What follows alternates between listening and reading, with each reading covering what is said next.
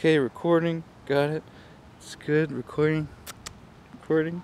Hey. Hello, and welcome to Tea Time with Trevor, Season 3, a season for all tea.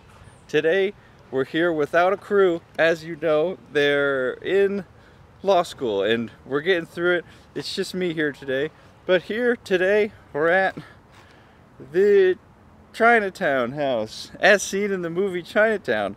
And in this house, our mother is our sister, is our daughter, is our mother. And things really have... Sir, sir. Wait. Colby? Col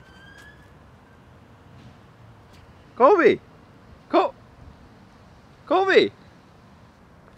That was fucking Colby.